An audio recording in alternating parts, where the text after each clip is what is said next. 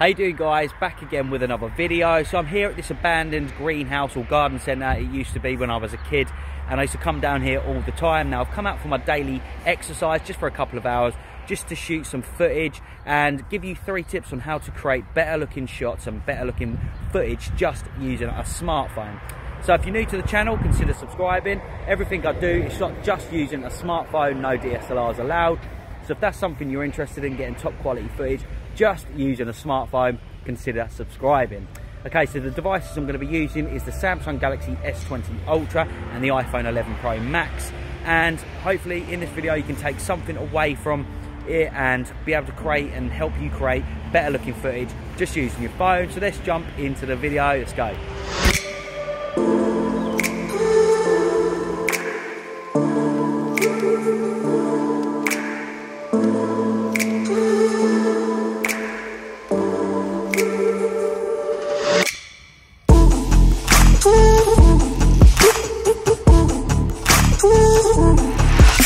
Okay, so when we're creating a cinematic video, there's uh, a few things that I like to look out for or try and do in my shots to make it a little bit more cinematic and more interesting to look at. Now, the first thing is going to be creating depth.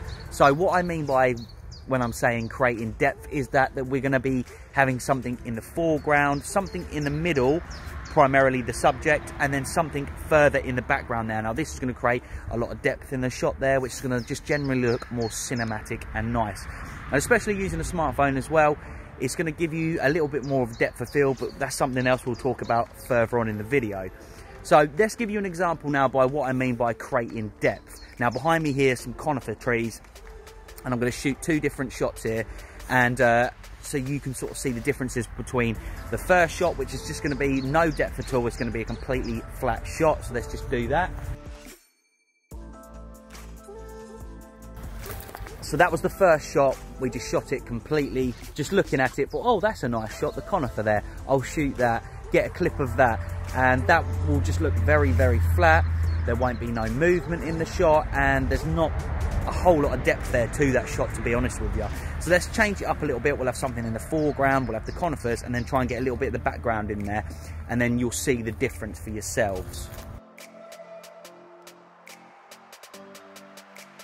Okay, so that was just the first shot of creating depth. We just shot the conifers. Wasn't the most amazing or interesting shot in the world, but you could see there by just adding something in that foreground, it created that depth there, the illusion of depth, and it made it look a little bit more cinematic.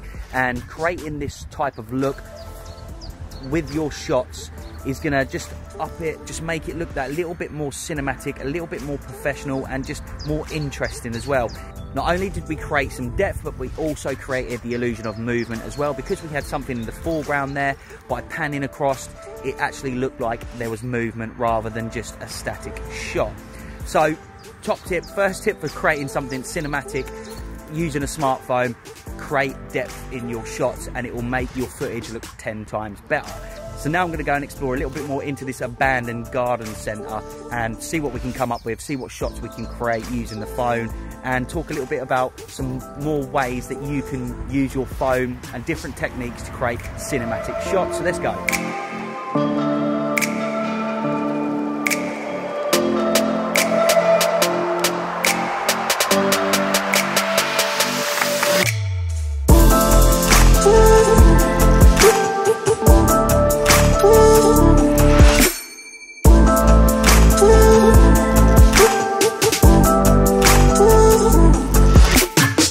Okay, so tip number two in creating cinematic or the film look just using your smartphone is depth of field. Now, this can be very hard to achieve due to the sensor size of smartphones and like I'm filming on the Samsung Galaxy S20 Ultra now, that bigger sensor size there is giving me depth of field and really helping the look out of this shot. Um, but if you haven't got one of these types of phones or an older phone or which hasn't got the bigger sensor size in it yet, which they will be coming, they're all gonna start putting bigger sensor sizes in, but if you haven't got that already, then you can pick up external lenses from say Sandmarc, Beastgrip, Ulanzi, any of the companies like that out there, and the telephoto lenses there will change the focal length up a bit so it'll be a little bit more zoomed in but you will get some nice shallow depth of field using those lenses. Another way that you could use it and I've used in this video a few different shots now of me walking through the different bits and pieces I've used the Beastgrip DOF adapter with the iPhone 11 Pro Max, and I've also used the Yongnuo 50mm f1.8 lens on there. So by just creating a little bit of shallow depth of field, it's going to give the illusion that you're using a more expensive camera and it's just going to make your footage look a little bit more cinematic, a little bit more professional, and not look like it's shot so much on a smartphone. So I'm here in this abandoned greenhouse now. I've been walking through them blooming bramble bushes, and I'm literally like, my legs are killing.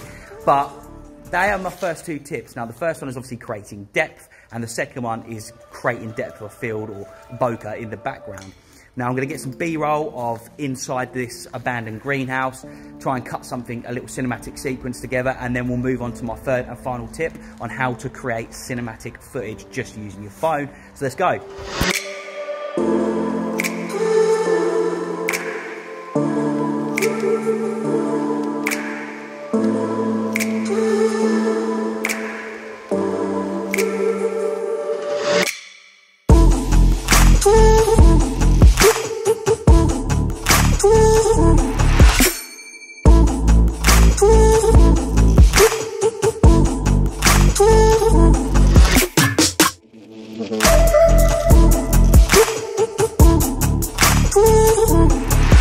My third and final tip is going to be composition. So think about the shot itself. What are you trying to convey? How are you trying to make it look? Don't always have somebody just smack bang in the middle or the subject that you're actually shooting smack bang in the middle. Use that grid, use that rule of thirds, place it either slightly to the left, slightly to the right. Also look for say leading lines, something that's gonna automatically draw your eye into a certain spot of the shot. And just get creative if you're shooting a subject, think about other ways than your normal way that you'd shoot it. So imagine you saw a subject and you've just got it smack bang in the middle and you're just standing there holding that phone in your hand like that.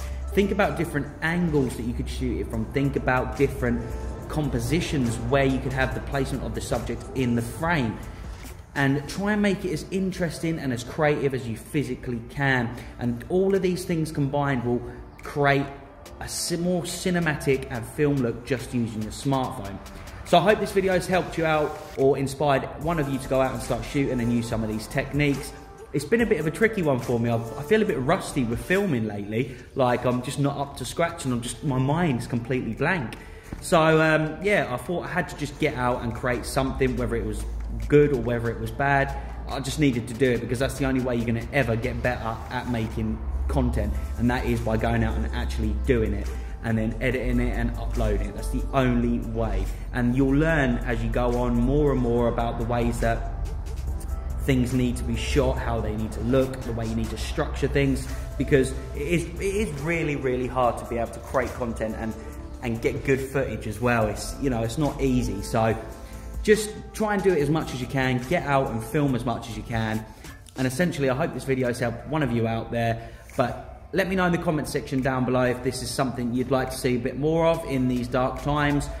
Um, I'm just going out and getting my daily exercise and shooting a bit of footage and putting something together for you. So let me know if that's something you're interested in seeing more of. But yeah, once again, hope you're all staying safe. Um, take care, and I'll see you guys in the next one. Peace.